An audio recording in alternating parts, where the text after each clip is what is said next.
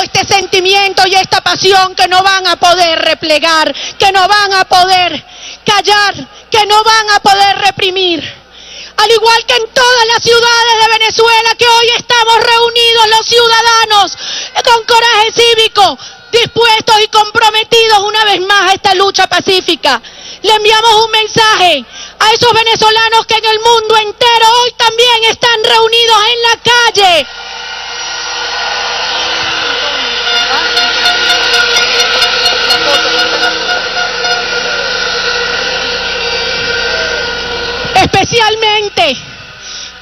Llevarle nuestras palabras de admiración, de respeto, de respaldo, de cariño, amor profundo al pueblo del Táchira, que en esta hora está siendo sitiado y perseguido. Esos gochos que sí saben cómo poner en alto el gentilicio, la nobleza, la decencia, el orgullo del pueblo de Venezuela. A la gente de Cabudare, a la gente de Valencia, a la gente de todas aquellas comunidades reprimidas brutalmente por los colectivos del terror y por el régimen que utiliza efectivos militares y civiles para cegar vidas humanas. En esta hora, el pueblo de Venezuela está muy claro. El pueblo de Venezuela sabe que Nicolás Maduro ha traído a Venezuela a la ruina y que Diosdado Cabello es quien ha ordenado esta represión contra los venezolanos. Y por eso, desde aquí,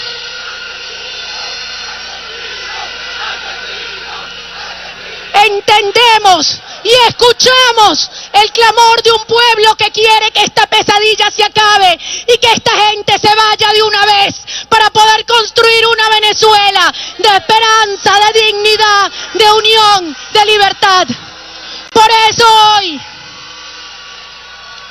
como compromiso y como homenaje a todos los jóvenes que han caído, a sus familias, como compromiso y como homenaje a esos jóvenes que deciden seguir luchando en las calles. Le decimos al régimen, a partir de este momento seguiremos con nuestra presencia clara, organizada, pacífica, de protesta en todas las calles de Venezuela. No queremos violencia. La violencia solo le conviene al régimen. Y por eso viene una etapa fundamental de organización ciudadana organizarnos para informarnos, organizarnos para informar, organizarnos para denunciar los atropellos, organizarnos para protegernos y defendernos y organizarnos para avanzar en esta lucha, porque lucharemos hasta vencer, hasta tener una Venezuela libre, digna, unida y soberana. ¡Viva Venezuela! Dios nos bendiga. ¡Viva el pueblo de Venezuela! ¡Viva los estudiantes! ¡Vivan sus madres! Dios nos bendiga. Antonio Ledesma, por favor, aquí. Antonio. Antonio. Antonio, María Corina. Unidad. Todos la unidad. Enrique. Todos, Enrique. Aquí, aquí, Enrique, aquí. Henry Falcón, Henry Falcón, Henry Falcón, unidad. Luis Florido, Alfredo Jimeno, unidad, unidad, Delsa, todo. Tomás, vente. Unidad. Unidad, unidad, unidad, unidad, unidad.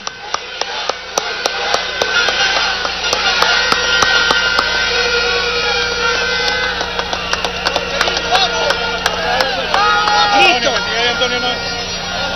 No, yo con los demonios.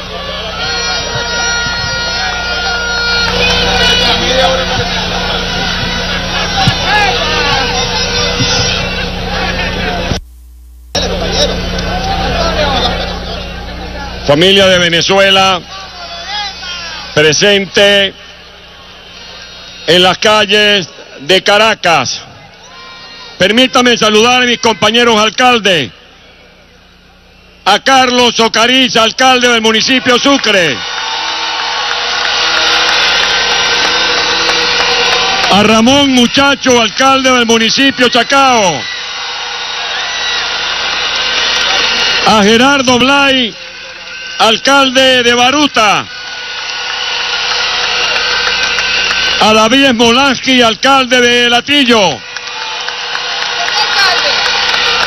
La bienvenida en la capital de Venezuela a este querido gobernador del estado Lara, Henry Falcón.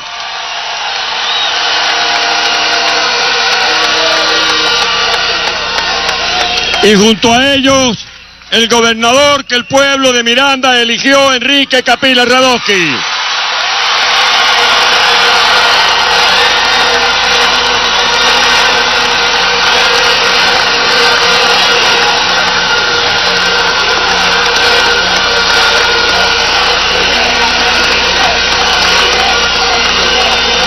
Para los medios, para los medios internacionales que están presentes, para que la, para que la ciudadanía del mundo, que todavía puede tener duda dónde está la violencia, anoche ustedes pudieron seguir una cadena de radio y televisión que dio el señor Nicolás Maduro. Allí está la violencia. Este señor habla de paz, pero se dedica a insultar a los venezolanos. A ustedes y a nosotros nos califica de fascistas. A las mujeres que protestan en las colas porque no hay comida, las califica de fascistas. A jóvenes estudiantes como Juan Requesén, a los estudiantes del Táchira o de Mérida, los estigmatizan como agentes del Departamento de Estado simplemente porque están reclamando mejores y mayores recursos para sus universidades. Anoche, Nicolás Maduro nos invita a un diálogo, pero la tarjeta de invitación está plagada de agravios, de insultos, de todo tipo de descalificaciones. ¿Cómo se puede dialogar así en un país? ¿Cómo se puede hablar de convivencia cuando es el propio gobierno el que atiza al fuego? Pero ante esos insultos, aquí está una dirigencia decente, aquí está una dirigencia de familia, ante esos insultos que buscan dividirnos, la respuesta del pueblo es el que se meta con Leopoldo, con Capriles, con María Corina, con Falcón, nos tiene de frente unidos. Y seguiremos defendiendo unidos nuestros valores y principios.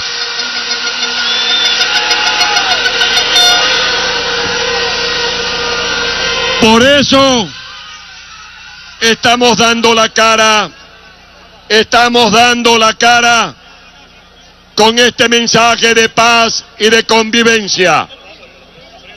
Este edificio, me decía Carlos Ocariz, este edificio que tenemos a nuestra izquierda, fue sometido a un acoso por parte de grupos armados apoyados en algunos efectivos a los que les recordamos que crímenes como los que se han cometido en Venezuela son delitos tachados de lesa humanidad y que la mano larga de la justicia algún día se va a posar en la cabeza de los responsables de tantos agravios y crímenes que se cometen contra el país.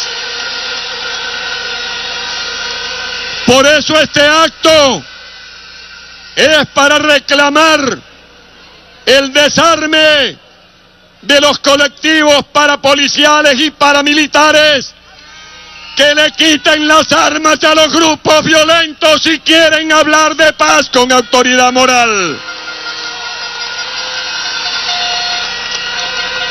Y a Maduro, que en vez de mandarle a los gochos, a los andinos de Mérida o de Táchira, que en vez de mandarle tanques de guerra o paracaidistas, paracaidistas, que llueva sobre el Táchira arroz, café, azúcar, mantequilla, leche, aceite.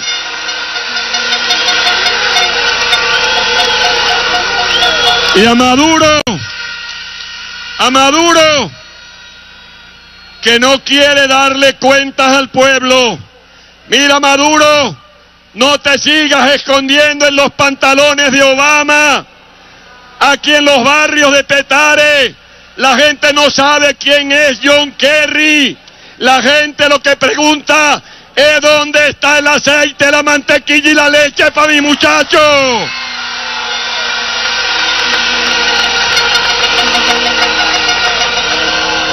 Y lo que la gente quiere algún día escuchar en estas peroratas de Maduro, que habla dos y tres horas de las culpas de Cristóbal Colón, de Guay, que sigue usando indebidamente al libertador Simón Bolívar.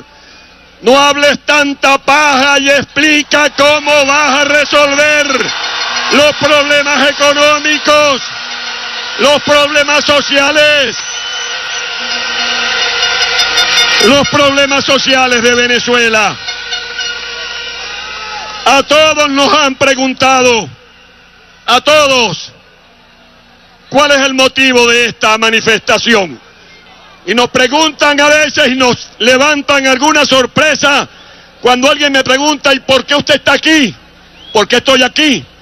Por Venezuela por la patria, por la patria de nuestros desvelos, la patria que sentimos, por la que nos desvivimos, por la que somos capaces de dar la vida, esa patria que nos necesita más unidos que nunca. Y algunos me dicen, pero bueno, es que ustedes quieren tumbar al gobierno. Mire, la gente lo que quiere es tumbar los precios que están por el cielo, los precios de la comida, los precios de los medicamentos. La gente lo que quiere es un gobierno que detenga el auge delictivo. Y la salida, la salida está en la que Maduro deje de empeñarse en imponer un modelo castro comunista. Nuestra constitución es democrática que respete la libertad de expresión, que no persigan a los periodistas, que respete el derecho a manifestar libremente, que respete el reclamo de los venezolanos que le pedimos al gobierno que rinda cuenta de los miles de millones de dólares que se robaron y el pueblo no tiene cómo comer, el pueblo no tiene cómo resolver los problemas de seguridad y los problemas de salud amigas y amigos de Venezuela, para despedirme, ayer enterramos a Caballo Viejo, ayer enterramos al cantautor de Venezuela, ese que ha sabido interpretar con sus estrofas y tonadas nuestra raza y nuestro mestizaje. Hoy desde aquí, inspirado en Simón Díaz, me atrevo a decir como hombre del llano, ¿Cómo no voy a sentir aquí en mi pecho el llano y el monte? ¿Cómo no voy a sentir aquí en el cielo una flor de Araguaney pensando en los exiliados que dicen con Simón, tengo hoy más, más que nunca ganas de volver, de volver a Venezuela, de volver a encontrarnos como lo decía Lilian Tintori, en un solo amor por Venezuela. Ayer estuvimos dándole el último adiós a Simón Díaz y se nos ocurrió decir con su familia que en ese caballo viejo, que en Mercedes, que en cada una de sus tonadas, que en la vaca mariposa, que en cada uno de sus versos, está allí una calle pintada y en las calles de las canciones de Simón Díaz cabe todo el pueblo de Venezuela. Pueblo de Venezuela, no nos dejemos quitar nuestra dignidad. Este es un pueblo pacífico. Lo que, que sepa el gobierno que nos encontrará más unidos que nunca. Ya lo dije, lucharemos por la libertad de Leopoldo López. Lucharemos por la descentralización para que alcaldes como Alfredo Ramos de Barquisimeto pueda ejercer su tarea como alcalde. Gobernadores de Venezuela, compañero Henry Falcón, compañero Capriles, tienen de nosotros el respaldo incondicional de un pueblo que quiere verlos luchar unidos. Y que nuestros diputados, a todos los diputados, a María Corina Machado, amenazada en su, en su inmunidad parlamentaria, tendrá también de frente y unida a todo este elenco de dirigentes que dice Primero Venezuela, segundo Venezuela, siempre Venezuela. Que Dios bendiga Venezuela. Hasta pronto.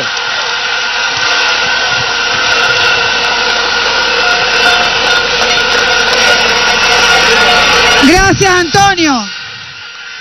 Quiero decirles que esta movilización, esta concentración está mucho más allá de los Ruices y está llegando a Petare por este lado.